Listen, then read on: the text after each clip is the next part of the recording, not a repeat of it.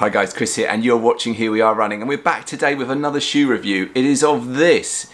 It's the New Balance Fresh Foam X Vongo V5, a max cushion stability running shoe from New Balance that I've now run about 80 kilometers or 50 miles in and happy to share my thoughts with you here on the channel today. For anybody that's new to the channel, just to let you know that I do run in stability running shoes and that's because I overpronate. So I'm always on the lookout for some new stability shoes to try out, share my thoughts with, and if I'm happy with them, I'll add them into my running shoe rotation. And because this is a stability running shoe, let's start the review by looking at what the stability features are of it. The main stability feature you're going to find in the midsole foam on the medial side of the shoe. They've used a higher density of midsole foam on this medial side to try and limit the amount that your foot will roll in when you're landing. And they've done that using kind of little pellets within the midsole foam. And those pellets get more dense as you get nearer to the edge of the medial side. It's also got a pretty solid heel counter in here. It's all an internal heel counter going around the heel of the foot. That's just going to contain some more support for you and the other thing I've noticed is that there is a bit of structure on the upper around this area here. Uh, again, helping to keep your foot supported when you're running in the shoe. Let's just try the twist test. Gosh, there is not a lot of twist in that shoe at all. You can see from that, I'm coming to quite force it to get any twist out of that, which is a good thing. That's what you want to see on a stability running shoe. Moving on to looking at the upper. Now when I looked at this shoe, I thought, there's oh, I did have some concerns that it might not be a very breathable shoe because if you look at it, there isn't a lot of sort of perforations there to let in the air in the upper. But even though there's only this kind of area here at the front, actually I didn't have any problems with breathability in the shoe at all, which, which did actually surprise me to be honest. But I've run in it on some warm conditions and my foot did not get noticeably hot or anything like that at all. So in terms of breathability, even though it's quite a small area of perforations letting in that air, still found it a fairly breathable shoe. The upper itself is called Hypo Knit, and as I say, it's, it's kind of got a thinner material around here, and then as you go more to the mid-foot area here, you've got that thicker material offering some structure to it, and then obviously going round, you've got the internal heel cant around here. Um, around the ankle area fairly plush in there. Uh, certainly I found that a comfortable part of the shoe when I was running in it. The tongue is not gusseted. Uh, that's just loose in there but I didn't have any problems with it slipping around or being where it shouldn't be. It seemed fine.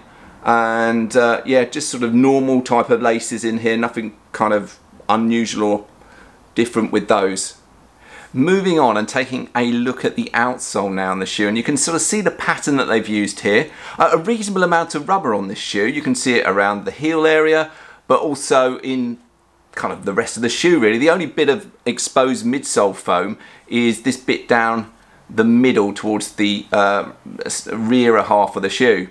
Uh, but yeah, I had no problems with grip at all found this quite a nice grippy shoe and I think because of that amount of rubber, you can see there's no real wear to it at the moment, because of that amount of rubber it's got on here, I'm expecting it to be a reasonably durable shoe. We'll see as time goes by, but so far at the moment there's, there's just no signs of any wear to it at all. I went true to size in this, UK size 11 for me, but when I bought it, I bought the normal width version initially and I just wasn't completely happy with it. And I've had this problem before with New Balance where I've had to opt for the wider version. So I bought the normal width version, wasn't completely comfortable with it, so I then ordered the wide version to compare the two, and I ended up sticking with the wider version. I was much more comfortable with the wider version of this shoe than I was with the normal width version. I don't know what it is with New Balance, uh, and maybe the shape of my foot, but I just seem to, on occasion, suit the wider version of their shoes than I do the normal width version. Doesn't necessarily mean that's going to be the same for you, but just something that I've certainly experienced, and this isn't the first time I've experienced that in a New Balance shoe. But in terms of this wider version of the uh, Vongo V5, Um, in terms of its fit, it, it, it's perfect for me. It's, it's locking down well. I'm not finding any problems with fit, no rubbing or anything like that. But as I say, I just felt more comfortable getting the wider version than the normal fit version.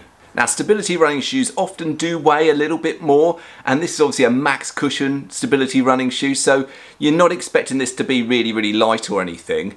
Uh, it weighs in a UK size 11 331 grams or 11 and 3 quarter ounces which I would say is about right for this type of shoe. Uh, comparing it with some of my other stability running shoes, this weighs less than the Kayano 28 and it's pretty much maybe a slightly bit more than the uh, Brooks Adrenaline GTS, what are they, 21. If you wanted to buy this shoe, then you'd find that it retails for 140 pounds, 150 US dollars, or 170 euros. Now that's certainly not inexpensive, but it is around what other brands are charging for their max stability running shoes. So what do I think about this shoe, having run in it now for about a month, uh, on various different lengths of run, up to about half marathon distance on the longest run I've done in it so far, and overall 50 miles, 80 kilometres.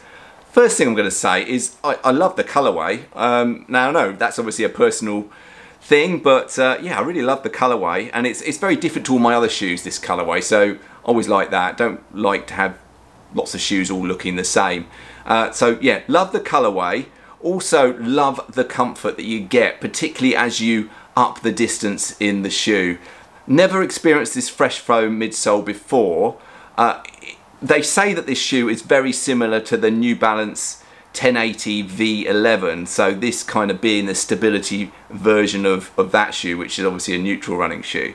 Uh, I've never tried that shoe obviously but it does seem a very comfortable shoe to run in and and it's also a stable shoe. I'm feeling I'm getting the stability that I need. What they've done with the stability here seems a very sort of subtle way of adding the stability. It's, you know, you're not getting a sort of big kind of plastic section here or anything. It's that higher density midsole foam, which again, I, I like what they've done there. And yeah, certainly finding it a stable and comfortable ride when I'm running in it. And my feet are not tiring as that distance is increasing, which is a good judge, I think, of a good stability running shoe. So how am I going to use this shoe going forward? And am I going to use this shoe going forward? Yeah, I'm definitely going to use this shoe going forward. It's going to become the third kind of everyday running shoe, uh, long run shoe that I have in my running shoe rotation. It's, it'll be the third of the kind of max cushion stability shoes that I run in. And I was looking for a third to add to the rotation. I, I, I, like to rotate my shoes so I'm not running in the same shoe every day. Feel that offers a lot in terms of preventing injury, uh, just keeping your, your, your feet uh, fresher. Yeah, so it's going to be that third shoe in the rotation for those types of runs, the everyday type of runs and also the long runs. Guys, if you already own the New Balance Vongo V5, Really interested to know what your thoughts are about it and I'm sure everyone else will be who is watching this video. So drop a comment below if you already own this shoe. Uh, also drop a comment if you're thinking of perhaps going for this shoe. But uh, yeah, if you already own it, drop a comment below with your thoughts. Always really interested to hear that. Uh, guys, I hope you found this review useful. As always, if you have, then really helps if you press that thumbs up button to give the video a like. And if you're new to the channel and you like what you've seen here, then why not consider subscribing for regular running content. But for now, guys, goodbye.